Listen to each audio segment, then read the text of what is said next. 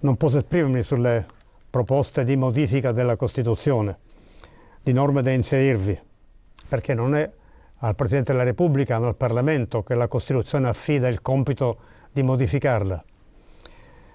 Ma in generale, e non mi riferisco alle proposte che, che hai elaborato, che, di cui parlavi, ma in generale, desidero far notare che la nostra Costituzione è stata scritta con grande saggezza e con altrettanta perizia, con norme capaci di essere applicate persino a oggetti allora sconosciuti è capace di regolare situazioni allora imprevedibili, che inevitabilmente intervengono nel corso del tempo.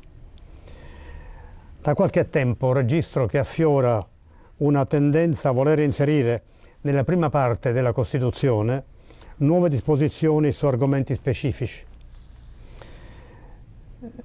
Questa sua prima parte, questa prima parte della Costituzione rappresenta da 75 anni un punto di riferimento sempre attuale, costante.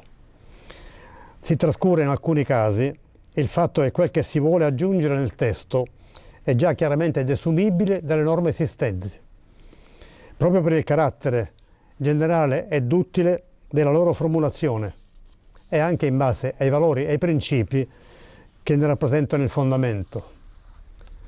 Occorre evitare il rischio di una rincorsa che sarebbe sempre più frequente, inevitabilmente, per continui inserimenti di, di temi particolari. Questo richiederebbe quasi di fare della Costituzione una, una sorta di albo di argomenti, in realtà riducendone il significato e il ruolo.